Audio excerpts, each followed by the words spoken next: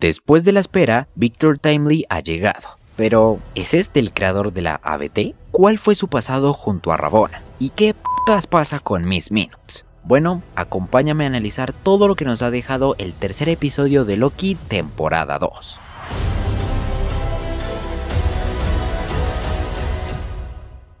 Es de recalcar que este video contiene spoilers. He de mencionar que este episodio tuvo un grave error al desarrollar la historia y es justamente el cómo nos presentan a Victor Timely, y eso es algo que voy a tocar antes de ir de lleno al capítulo. Principalmente el mayor problema de este episodio es que nos presentan una versión de Victor Timely que poco o nada tiene que ver con el de los cómics. Si recordamos, este era una variante de Kang el Conquistador que posterior a perder con los Vengadores, decidió viajar al pasado para cimentar el imperio que gobernaría en el futuro. Básicamente todo lo que tiene que ver con la dinastía de Kang, y eso es lo que no se ve para nada reflejado en el episodio, ya que Victor es tal cual un niño que nació en el siglo XIX, que de una u otra forma puede que sí sea una variante de He Who Remains, pero no una que se haya convertido en Kang antes de adoptar esa identidad. Aparte de que literalmente es un fraude, un mentiroso que supuestamente inventa cosas cuando en realidad creó todo a partir del manual que Rabona le dejó en su casa y que a pesar de que se le vea el ingenio y la inteligencia, la forma en que lo desarrollan así medio pendejo y tartamudo no nos da la versión que queremos del personaje. Fuera de eso me pareció muy interesante el regreso de Rabona y Miss Minutes, dándonos la respuesta de a dónde se fueron en el final de la temporada pasada y aparte con nuevas revelaciones sobre ese misterio que comparten Renslayer y aquel que permanece. Eso sin contar la inesperada actuación de Miss Minutes como una inteligencia artificial demasiado avanzada como para ser una tóxica de mierda. Y obvio la aparición de Loki, Mobius y Sylvie que nos dan un conflicto bastante interesante que abordar en el episodio. Este empieza con la intro de Marvel Studios donde escuchamos la clásica música de fondo pero esta vez tocada por un piano esto haciendo referencia a la época en que se situará el episodio, que es a finales del siglo XIX. Aquí vemos a Rabona llegar a Chicago en 1868. Allí se reúne con Miss Minutes, quien le encargó que trajera algo a ese lugar específico. Ese algo es un manual de la ABT y nos explican que Rabona debe colocarlo en la ventana de una casa, ya que ese fue el plan que el hombre que está al final del tiempo diseñó cuando vio que se acercaba a su muerte. Básicamente nos dicen que He Who guió a Loki y Sylvie hasta su ciudadela, pero además creó un plan antes de eso para que él regresara en una de sus variantes sabiendo que lo iban a matar. De esa manera Miss Minutes le dice a Renslayer que una vez que él vuelva ambas gobernarán a su lado. Aparte esta se cambia la apariencia a blanco y negro para dar más con la época y no llamar tanto la atención. De esa manera ella arroja el manual por la ventana para que un joven Victor Timely lo recoja. En el presente, nuevamente OB explica que logró estabilizar el telar por poco tiempo, pero que debido a que las ramas que fueron podadas por la General Docs están creciendo nuevamente, el telar otra vez está sobrecargando. Obi dice que deben hacer crecer la capacidad de los anillos del telar para de esa manera gestionar todas las nuevas ramas que se están creando. De lo contrario, este se descompondrá y la ABT se destruirá. En este escenario, sin el escaneo de Laura de He Who Remains, piensan en Miss Minutes para que los ayude ya que esta tiene funciones de administradora en toda la TVA, pero como desapareció y además descubrieron que está ayudando a Renslayer, su plan es rastrear la señal del Tempa de Rabona, ya que si dan con ella, dan con el reloj de caricatura parlante. Estos primero llegan a 1868 esperando encontrar alguna pista de ellas, pero sin ningún indicio se dirigen a 1893, ya que en este año hay un registro de que Rabona regresó a ese lugar. Allí descubrimos que se llevó a cabo la Feria Mundial de Chicago con inventores como Thomas Edison, quien en los cómics fue uno de los principales rivales de Victor Timely como inventores de inicios del siglo XX. Aquí Mobius y Loki hablan de que por algún propósito Rabona viajó a 1868. En eso escuchan acerca de un reloj fantasma, dándose cuenta que Miss Minutes fue vista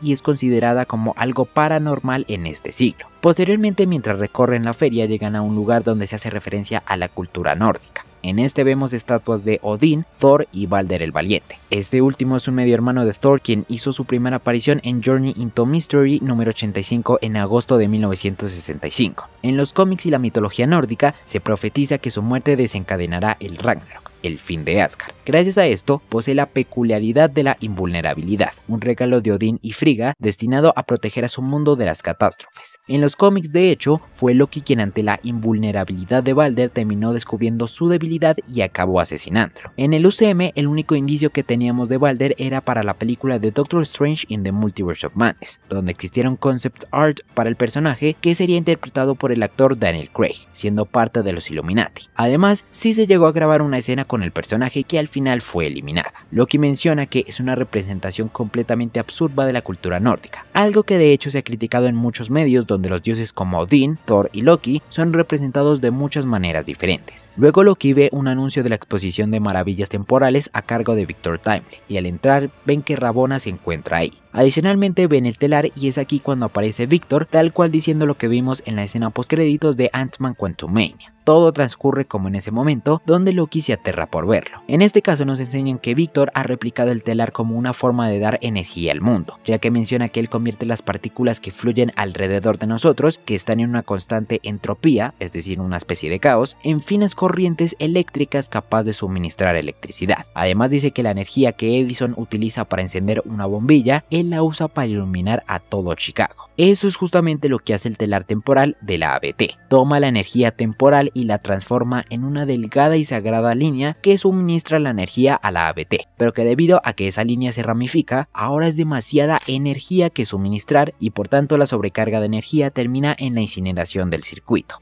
en palabras mayores es la destrucción de la ABT. Al terminar su exposición, Víctor termina vendiendo su telar y posteriormente es abordado por Rabona, Loki y Mobius, todos con la intención de hablar con él para sus respectivos intereses. Y en el proceso descubrimos que en realidad Víctor no es ese gran inventor que todos pensamos, ya que es medio embustero, pues al ser un visionario cuyos inventos se adelantan a su época no tiene la tecnología suficiente para potenciarlos. Esto debemos asemejarlo con los cómics, ya que cuando este se estableció en la ciudad de Timely en Wisconsin, poco a poco se hizo un nombre construyendo fábricas e industrias muy innovadoras para la época. Debido a eso, fue capaz de crear su propia ciudad al final del tiempo llamada Cronópolis, y además inventó la tecnología del futuro que próximamente utilizarían héroes como los Cuatro Fantásticos. Además de eso, fue responsable de la creación de la primera antorcha humana que era un androide y luchó con el Capitán América en la Primera Guerra Mundial y por si fuera poco, fue capaz de crear más androides que envejecieran para que de esa manera Victor mantuviera su descendencia en Victor Timely Jr. y su nieto Victor Timely III. Es por eso que digo que la versión que vemos en el capítulo no le hace para nada justicia al de los cómics, y que por el contrario se me hace que desperdiciaron mucho potencial de esta variante para conectarlo con más sucesos a lo largo del multiverso, ya que limitas todas las posibilidades que este tiene al establecerlo como un niño que nació en el siglo XIX y que está destinado a convertirse en He Who no en Kang. Volviendo al capítulo, Víctor es perseguido por el hombre a quien le vendió su telar y al lograr escapar y encontrarse con Loki, Sylvie también llega para matarlo. Esto debido a que en el episodio pasado ella afirmó que si una de esas variantes aparecía, simplemente lo asesinaría y ya. Loki por su parte lo defiende diciendo que sin él, la ABT quedará destruida. Sin embargo, Sylvie se mantiene en que si no fuera por la organización, él sería un hombre inofensivo y que Renslayer lo guió por un camino que no le correspondía, pero que ahora Loki lo llevará a la TVA para que se convierta en lo que antes era, el ladrón de todo libre albedrío. Y nuevamente este se sostiene que él es la única oportunidad de que esas vidas que están en riesgo incluso en las ramas de la línea temporal, terminen siendo salvadas. Una vez acabada la conversación, Sylvie los empuja con su poder y ocasiona que Victor escape con Rabona, quien a su vez libera a Miss Minutes como una distracción. En la casa de Timely comenzamos a ver cómo ambos comienzan a sentir cierta atracción entre ellos, algo que al parecer le molesta a Miss Minutes, la cual se presenta como una inteligencia artificial completamente consciente y, ojito a esto, sintiente. Es decir, que de alguna forma sí puede tener sentimientos algo que ni Jarvis ni Ultron llegaron a poseer siendo inteligencias artificiales y que no se aplica para Visión ya que este tuvo factores como la gema de la mente que sí lo llevaron a desarrollar sentimientos. En este momento, Rabona le explica a Víctor que una variante suya hace mucho tiempo creó la ABT, pero que dos versiones más de un dios nórdico lo asesinaron, por lo que en consiguiente se crearon un montón de ramas donde se evidencia el renacimiento de más variantes de él mismo y que ello él debe convertirse en lo que era para lograr estabilizar la TVA. Además, Miss Minutes explica que antes de que fuera asesinado e incluso de que Renslayer apareciera, la creó a ella para que trabajaran al final del tiempo. Esto diciéndolo muy celosamente. Nuevamente llegan a perseguirlos y deben escapar. Sin embargo, Víctor menciona que aún no pueden irse de ese lugar ya que debe recoger su último invento en su laboratorio que está cruzando el lago. Aparte, Loki y Mobius también llegan a perseguirlos sin ningún éxito. Una vez en el barco, Timely y Rabona hablan de este último gran invento que es un multiplicador de rendimiento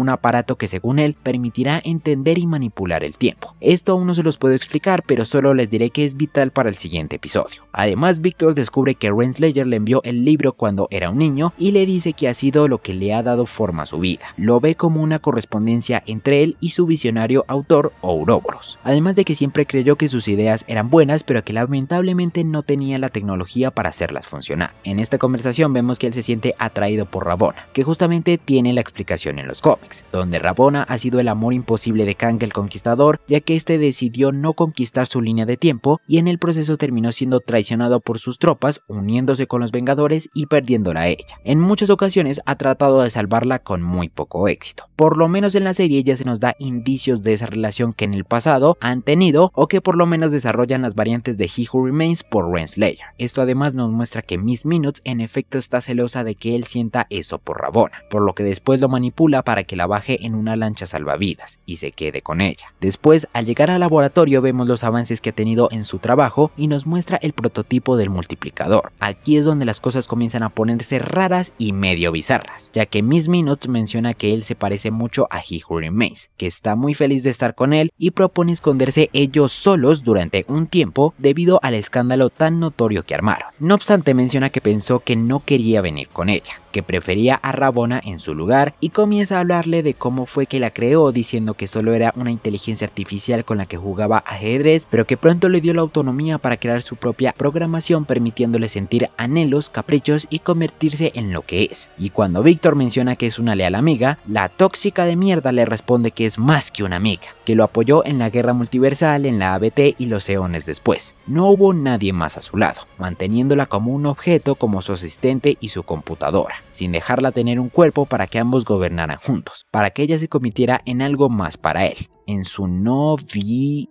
Por favor, no lo digas a su puta madre. Pues resulta que en todo esto descubrimos que Miss Minutes estaba enamorada de He Who Remains, algo que es bastante raro considerando que justamente el interés amoroso más notorio sería Rabona. Pero realmente es que Víctor se sintió tan agobiado como nosotros viendo esto. Aparte de que no sé argumentalmente qué le aporta a la serie más de darnos cuenta que en efecto Miss Minutes es más rara de lo que pensamos. Sinceramente me quedé medio reiniciado cuando este reloj con su tonito maníaco de loca esquizofrénica comenzó a decir todo eso y a Afortunadamente, Timely logra apagarla. En eso, Rabona aparece amenazándolo con un prototipo de arma que también inventó. Y además de eso, llegan Loki y Mobius. Puta, es que no puede estar más complicado este mirdero. Mobius trata de hacer entrar en razón a Renslayer y esta le responde que él es el menos indicado para sermonearla, ya que muchas veces limpió las cagadas de Mobius, hizo su trabajo sucio y puso la ABT por encima de ella misma aunque le costara su propia felicidad. Lo hizo sin esperar nada porque ella es quien le ha brindado estabilidad a la TVA y por tanto es el orden que debe reinar sobre el caos. Todo esto obedece a la teoría del caos que se expresa con la ramificación de la línea de tiempo en la primera temporada. El orden establecido e impuesto de una organización que reina sobre el caos de nuevas ramas que surgen como una mutación en el orden natural de la existencia. Sylvie llega al lugar para matar a Víctor y este le suplica que no lo haga y que él no ha hecho nada malo, a lo que ella responde que lo hará, pero nuevamente este insiste en que no es el hombre que ella cree que es y eso le impide acabar con su vida. Esto tomando un paralelismo cuando ella fue raptada de la línea de tiempo por la ABT cuando tan solo era una niña, pues tal cual ella no había hecho nada malo y fue despojada de su vida, por lo que no siente que debe acometer el mismo acto que hicieron con ella. Loki y Mobius se van junto a Víctor a la ABT y Sylvie se queda con Rabona mencionándole que si lo único que quiere es un asiento al final del tiempo, eso es lo que le va a dar, a lo que abre una puerta temporal y la empuja hacia el reino de He Who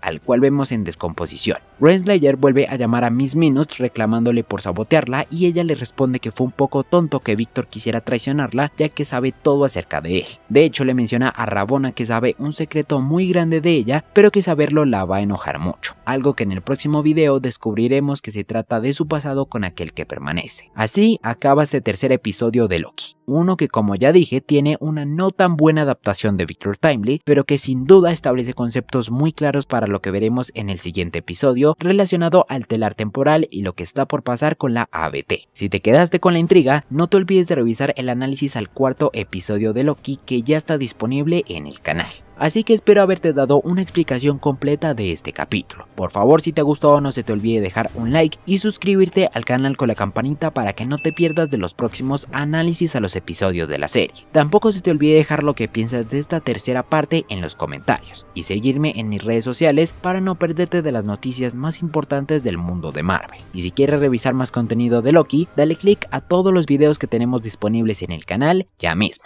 Por mi parte esto fue todo, nos vemos en la próxima.